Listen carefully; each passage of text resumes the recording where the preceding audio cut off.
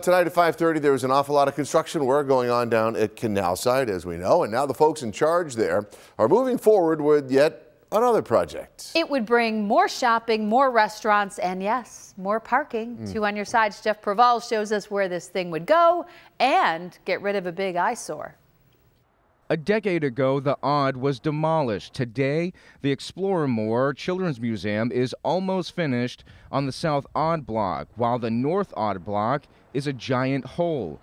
The Erie Canal Harbor Development Corporation is in charge of growing the waterfront and it's hired a Buffalo architecture and engineering firm to design plans to fill this hole.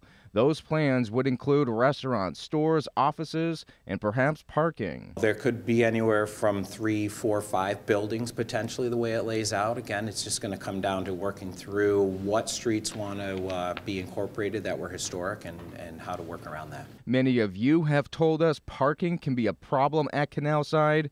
So what about more parking here? We just have to figure out how we're if and how we're going to do parking, what streets are going to go back in, how that fits together, what infrastructure is necessary then to support those development parcels. Fitting in may be easier said than done because of construction projects nearby, like One Seneca Tower and Sinatra and Company Real Estate putting up two buildings next to the Children's Museum with stores and restaurants. These projects should be done next spring.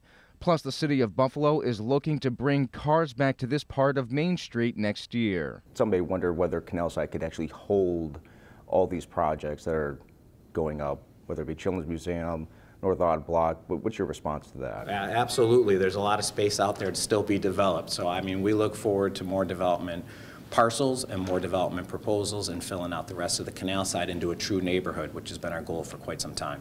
And coming up at 6, we got a bit of an update today on when the Explore & More Children's Museum is expected to open up. Plus, you'll see new pictures of how the Children's Museum will look.